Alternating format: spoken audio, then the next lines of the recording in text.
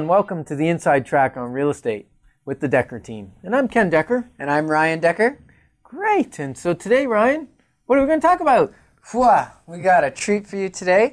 We're going to talk a little bit about investing and uh, different ways to get educated. Investing like stocks and bonds and things? Well, we can touch on that. However, sure, we'll, we'll hit that first. um, when we talk about stocks, bonds, mutual funds, um, we're not going to say they're bad or they're wrong. However, they are sold a lot. A lot of people, that's their main investment, sometimes their only investment. And I went to school for uh, investments, and through school, I decided that this is not what I want to help people with. I want to help them with real estate because the model is more effective. You can earn more money. It's more reliable. It's more stable. So that's interesting. Mm-hmm. So what you're saying is you went to school for three years. Yep. to learn about business finance and Absolutely. investment finance and understand bonds and junk bonds and yield bonds and, Mm-hmm. and uh, stocks and mutual funds and and uh, actually be able to sell that kind of product. That's right. And then you decided what? Not a chance. Not for me. I sent you to school for three years. Well, okay. yeah. All right. Well, that was good for both of us. No, it was a good education.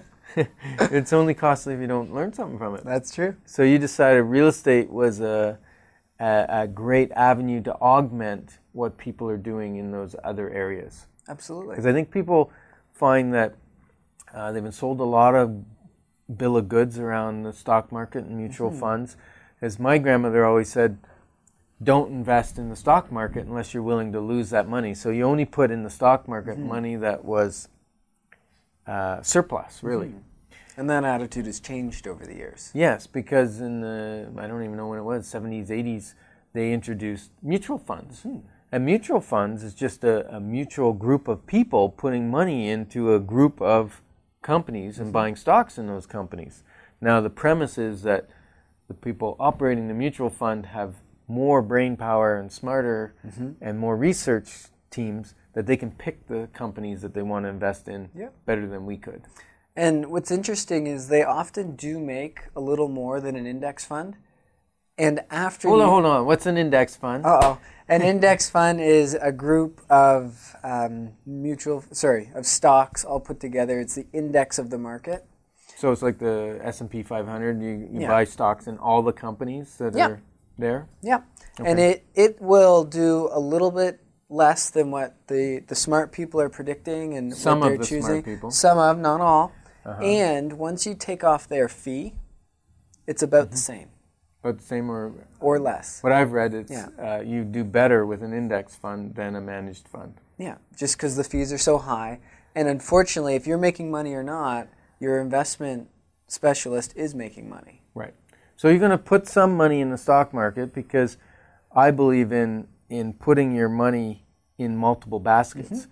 Now the problem was that the sale was well if you buy different types of mutual funds and they're in all different companies, then you're protected.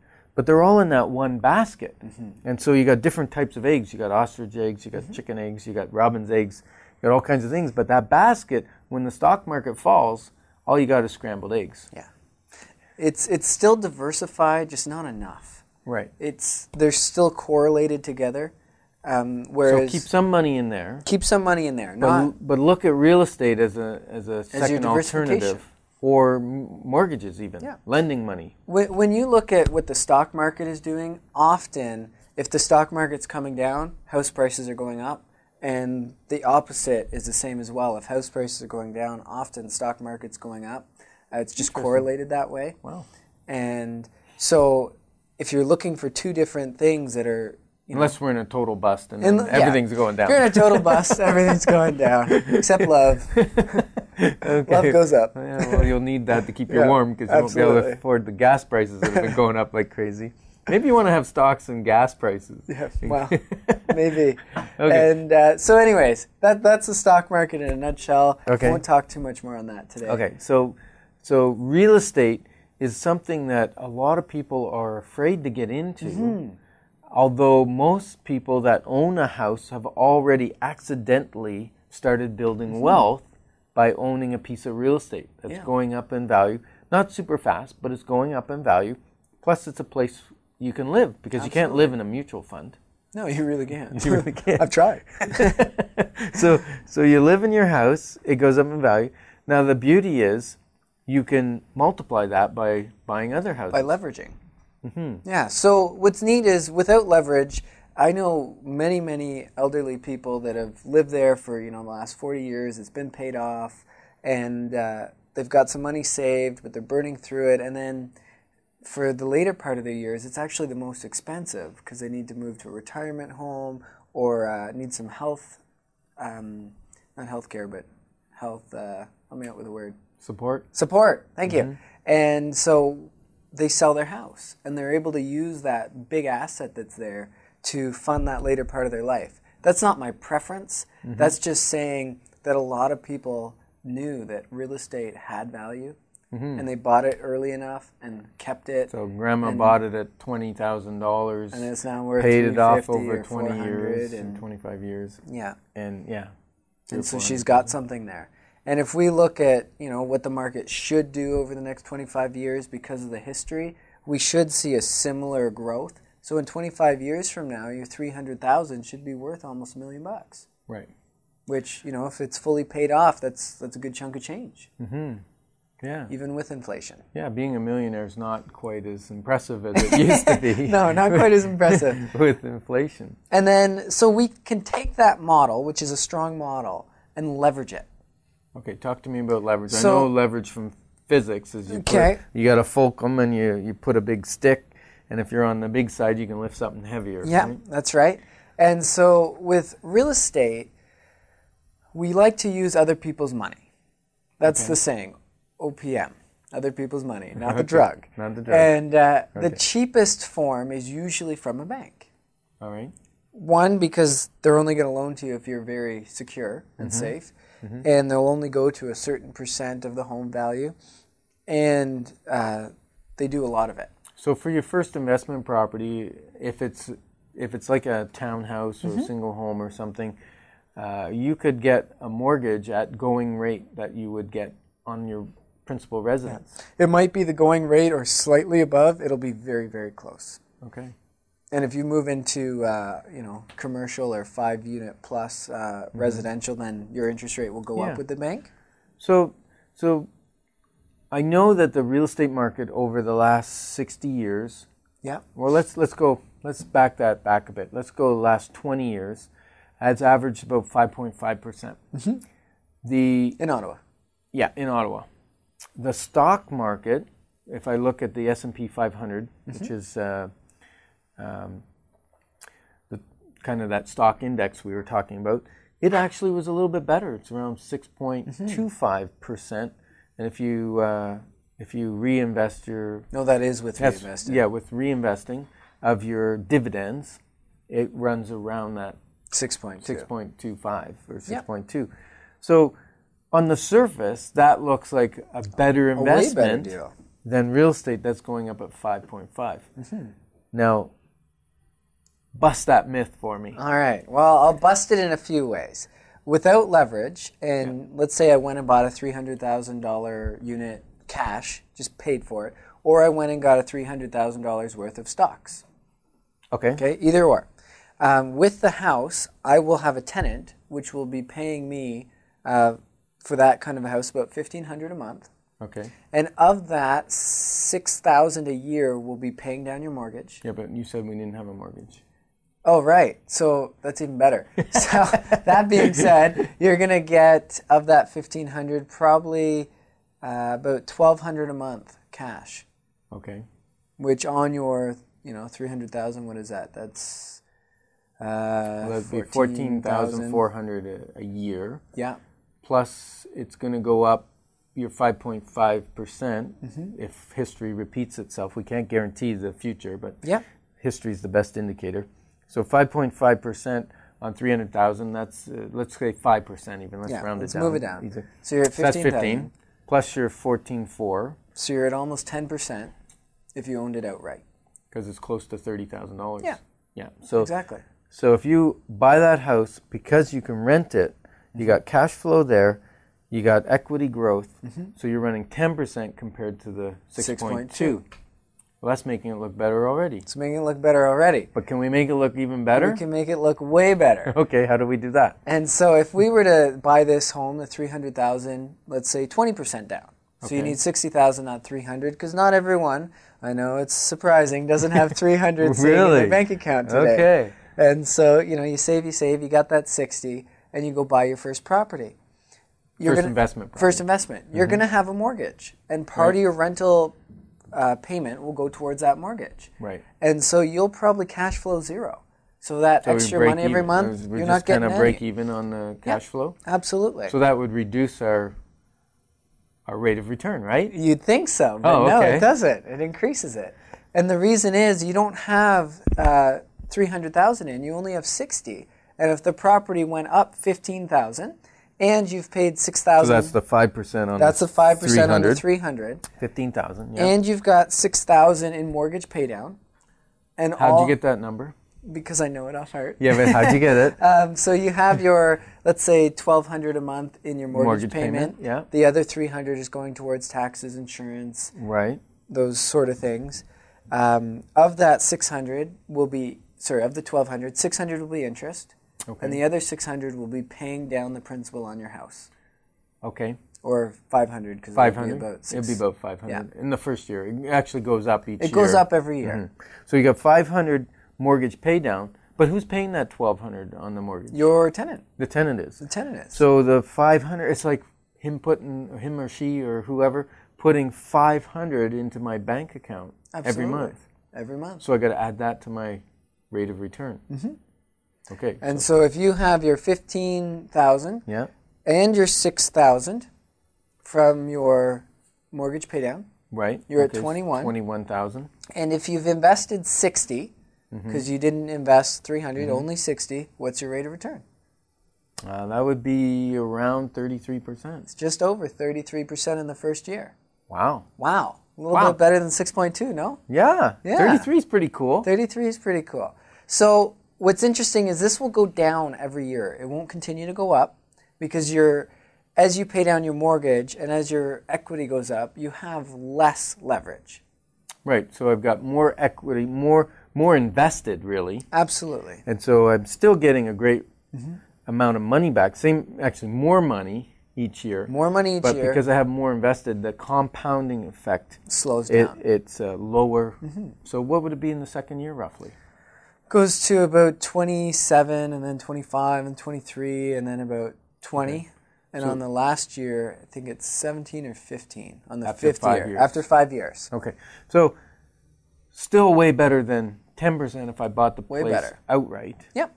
Now, eventually, I guess if I pay the entire mortgage off, it's going to run at about that 10%. It'll go back to that 10. okay. All right. And And, so- rate of return's important? Rate of return is very important. Uh, if anyone knows the rule of 72, that is, you take 72, divide it by the rate of return you're getting. That's how many years it will take to double your money. Okay, so with the interest rate going down a little bit, or not the interest rate, but the rate of return going down a little bit in subsequent years, starting at 33, ending at 17, probably we're talking, I don't know, three years or so for our money to double? Like Uh, our 60,000 to become 120? Yeah, 33% you'd be about three years um, to double. However, to be able to take out your money and reinvest, it takes roughly five years. Okay. as long as the market does what we say it's going to do. And once you hit that five year point, you can re leverage and go back to the 33%. And what do you mean re-leverage? And so if I have a home, I've got 20% down because that's what I paid for it because Mm-hmm. it's not my personal residence, it is it's an investment. Yep. And then I Maybe take even 25 now. maybe even some Of 25. the, some of the they're making it tougher on us, which is okay. some lenders are still 20, others are 25. Mm-hmm. Mm-hmm. and you take that 20 you leave it in after the five years because you want to keep the property you don't want to sell it and you take the increase which will be about 20% again on the new value so mm-hmm. let's say after five years it's worth 360 so you're going to Okay. need 20% of that to stay mm-hmm. 20% to go and buy another property and now you have two Okay. doing both 33% the first year So it's kind of like a shell game. We had we mm-hmm. had a whole bunch of equity in one, and we took out part, part or half of it, Half, moved roughly. it to another one. Now we got two of these things earning 33% mm-hmm. again Absolutely. That's powerful. That's huge. Without investing any more of my With personal no more money. money. And if you have more money to invest, then you can speed up the process. Okay. And get, you know, maybe you saved another 60, go get another home. Or pay down my own mortgage Yeah. and borrow from, put a line of credit on that, which is tax deductible now if it's for being used as the property. Mm-hmm. down payment on another investment property. So called waking up your lazy asset, which is your, your house. If your house is fully paid for and it's making that 5%, 5.5, why not wake up a little bit of it and, leverage it? Go get not some not a lot of it because Not people have to be able to sleep at night, right? Absolutely. And we don't want anybody to over leverage and get worried about money or anything like that. And the reason we advocate this is because the real estate market in Ottawa has been so stable. Mm-hmm. So stable. Slow to rise, slow to fall, and y- your risk factor is reduced significantly. Absolutely. Yeah. So if you just joined us, this is the Inside Track on Real Estate, and today I'm interviewing Ryan Dekker on uh, really investments and and what uh, what to look for. Like why why is investing in real estate a great choice? And uh, we actually run a investment workshop Yeah. uh, the second Thursday of each month, and you can call 613 860 4663 and register for that. Uh, we, we answer all the questions, we give all kinds of great information. We might even have a property to, or two there that might be a great purchase Investment. for, for an investor.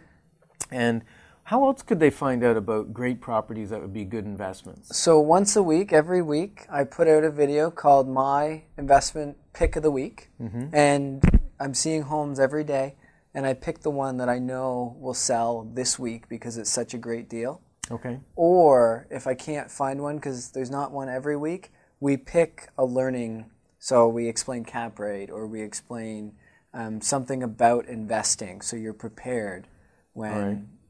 the one you want comes up. So you find this property. yeah, and that you think is a good value. Either value. either it's a multi-unit or it might be a townhouse or could be anything a fixer upper. anything that you think would be a good rental property. Yeah. And then you create a video on it. You said. And then I create a How do you video. do that? Well, I have brilliant staff that helps me with that. And so we create this video and we send it out once a week. If you want to register for that, again, call 613 860 4663. That's 613 860 4663 and ask to be put on the investment property of the week video. So so it comes out as a email link. An email link. You just click on the link and it has a little video of you, Mm-hmm. and you are running the spreadsheet on a Showing computer. So they see a little picture of you in the corner. That's right. They see a picture of the house, and then they see your spreadsheet come Mm-hmm. up on the computer. It's kind of a computer capture kind of Yeah. program, Program. and uh, it's really cool. So if you, you. want to see it, call 613-860-4663 and ask to be put on uh, the investment of the week video program, and we'll be happy to set you up on that. Or come to the wealth building workshop.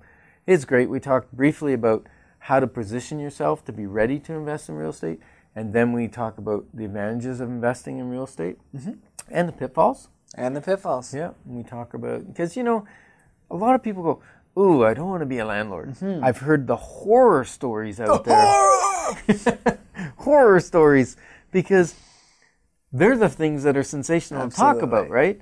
I don't talk about the house that I've had for 20 years. I've had great tenants in it. They always pay. Mm-hmm. They never damage it. They leave it in better condition than when I gave it to them in, and it's paid off the place, and I've made a ton of money. You don't hear those stories because people don't talk about their successes quite the same They don't want to be boastful or seen, you know, as different or. Um, So Mm-hmm. often people are willing to share, you know, I had this tenant and he, you know, and they go on. And I've got horror stories and I love them. They're fun to tell, you know, at parties. You can wow people. It's fun. Um, I've also got really great stories. Yeah, we're we're presently giving a little bit of advice to uh, a landlord who who let it slide too long, and their tenant owes them about ten thousand dollars because they didn't give the proper notices as soon as they started being late on their on their rent. Uh, a lot of people think you can't kick someone out in the winter. You can.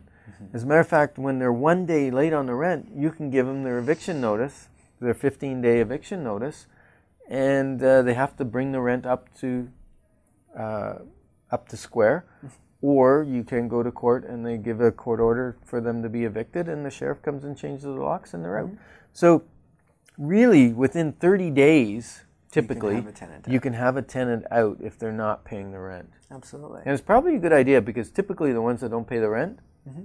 also trash the place. Yeah, it's a double whammy. It is a double whammy. and what's what's really cool is I have a lot of clients that you know want to invest in real estate. They want to see the return, but they don't want to be a landlord. They don't have the time. They don't have the energy. So, do we have a solution for that? We absolutely have a great solution. Okay. Which is a property manager.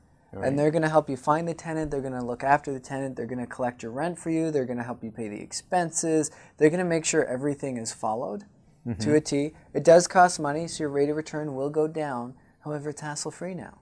And if they need to evict, your um, manager will do that. So it's kind of like having the a little le- less rate of return on your mutual fund because Mm-hmm. you got a manager. Absolutely. Now you got a manager of your real estate portfolio. Mm-hmm. It has a little less return, but it's less hassle, less thinking Yeah, about it. You less time, put less your money and forget it and go go on vacation. Yeah. And we still think, you know, don't forget it totally. You still got to touch base and make Yeah. sure, you know, because money that you don't watch walks away. Yeah, it gets bored, It gets bored. grows legs, and grows walks legs. away. Yeah. So you know, keep an eye on it. Don't don't be an absentee landlord. However, a manager makes things very very easy for the person who doesn't want to be involved. Okay, so that's great. So again, that number, if you would like to sign up for our wealth building workshop and learn all about investing, uh, 613-860-4663.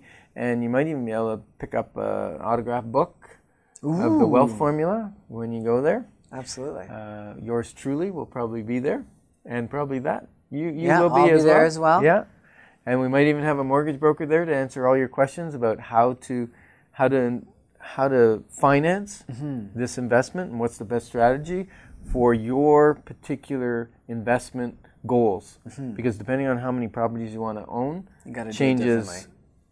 And what kind lender- of properties? Yeah, yeah, Big difference. Excellent, excellent. So we have a few properties uh, that we have listed that we think are awesome. Mm-hmm. Um, one of them is on River Road. Yeah, set back off of River Road. It's set back. It's Just- back a house, so you yeah. don't hear the road. so backs just on- south of Manotick. Just south of Manotick. Okay. It backs onto a farm, so you don't have any rear neighbors. It's beautiful. Wow, Quiet. Birds. quiet birds, corn, sometimes strawberries. It's very Really? nice. Strawberries. Yeah. Can you sneak over and Probably not. Probably not. We won't advertise that. Um, Okay. It's a four bedroom. Uh-huh. The master is on the main level, so great for you know an older couple or someone who wants to be separated from the rest of the family. Okay. So you, so three bedrooms upstairs. Three bedrooms up with one bath, Okay. and, then, uh, downstairs you got the uh, powder bathroom and then the ensuite for the the big master on the main level. Okay. So great if maybe even if you've got a, a Parents uh, parents that need some assistance and they can live on the main main level and Yeah. you live upstairs, that would work And well. this one's priced at four hundred thousand. It's very well done. Um, great basement as well, and one and a half car garage. It's wonderful. One and a half. Yeah, I have a lot of clients who like workshops, and Uh-huh. if you tell them a one car garage, it just doesn't do it. So you can only park one car here unless they're really little. Actually, I was in it. I, you can get two cars. Not the problem ones. is the door is small. Yes. But if you took out the, the Ah. passage door on the side and widen it, it's, think so? It's bigger than a, a city two-car garage that they call, you know, those 18 footers that you, you, can, you can get in them, but you need a can opener to get back out of your car to, once you're in the garage. but it, it will fit too.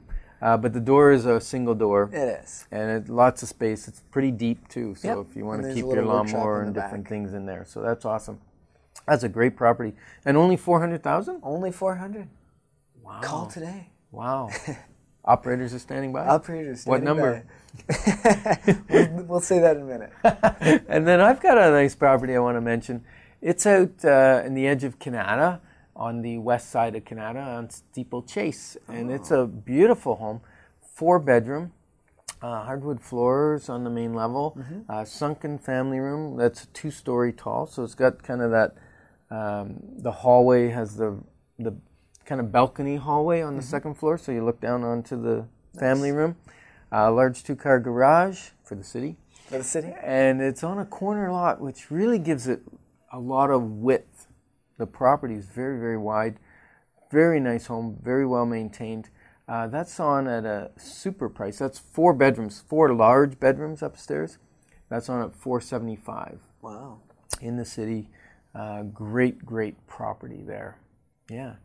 And so, uh, yeah, If you want to know about these properties, come to the investment seminar or subscribe to the uh, investor. Well, could they just not the week. call us and They find out about us. them? Because these, these are great properties. Give us a call, 613-860-4663. Even if these properties don't spark your interest, we have access to all the properties on the MLS, which Mm-hmm. is over 7,000 properties. So if you think we can't find you a property that suits your needs, you're wrong. we can.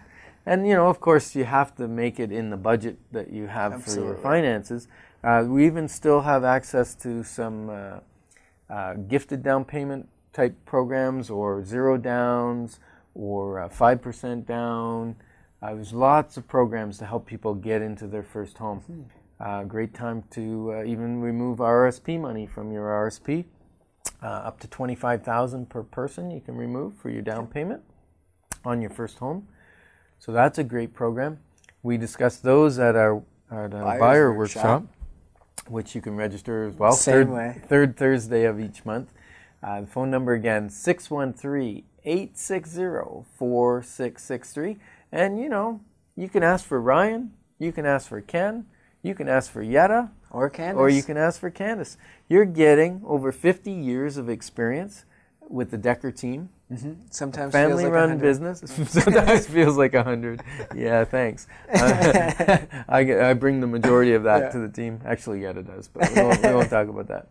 Um, yeah so if you want an experienced team that has got expertise all over the city in investment properties condos freeholds Farms, commercial property development we cover the whole gamut with our team and just give us a call. We'd love to assist you.